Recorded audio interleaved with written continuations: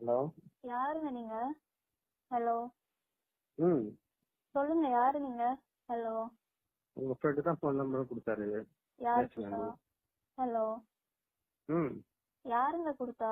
எதுக்குங்க அன்டைம் பண்றீங்க? யார் நீங்க ஃபர்ஸ்ட் ரெண்டு டைம் தான் ஃபோன் பண்ணாங்களா?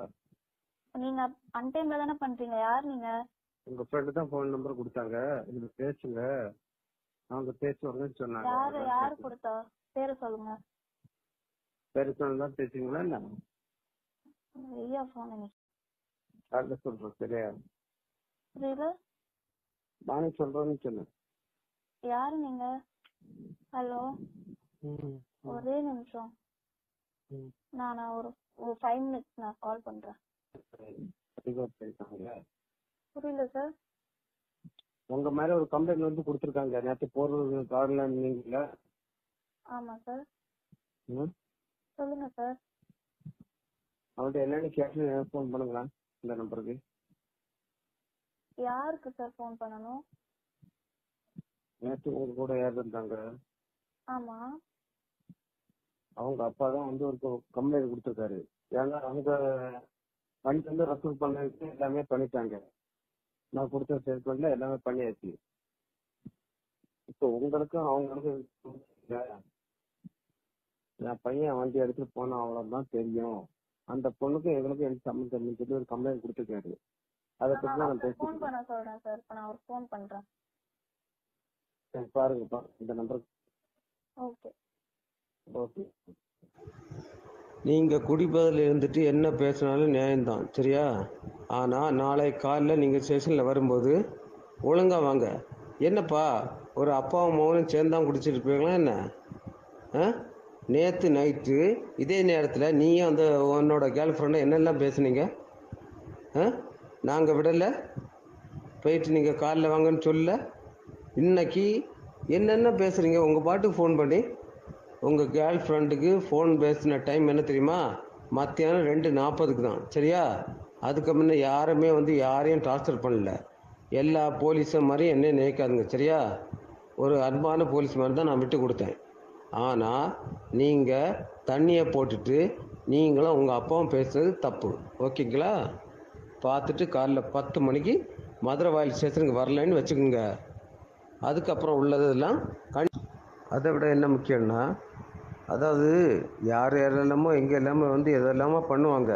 எங்கள் டியூட்டிங்க நாங்கள் நீங்கள் நைட்டில் வந்து கார் நிப்பாட்டினா நாங்கள் கேட்க தான் செய்வோம்.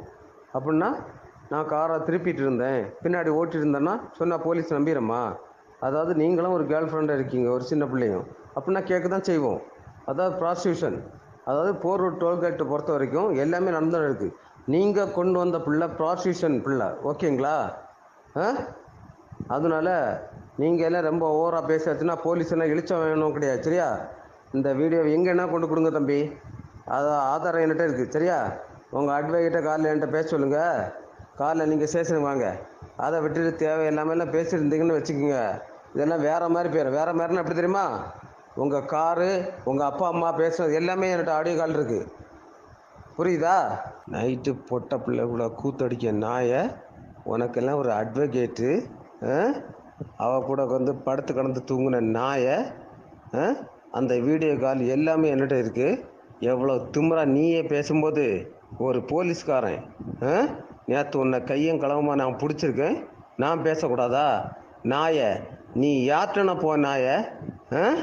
கமிஷனர்கிட்ட போறியா? எங்கே என்னன்னு போ.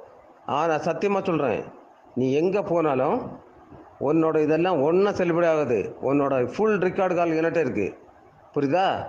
ஆ? காலையிலேயே உன் கேர்ள் ஃப்ரெண்ட்டு நைட்டு கொஞ்சிட்டு இருந்தால எல்லா கேர்ள் ஃப்ரெண்டுக்கு நம்பரையும் வாங்கி எல்லார்ட்டையும் நான் பேசி ரெக்கார்டுகள் ஏற்கனவே சென்ட் பண்ணியாச்சு நாயை.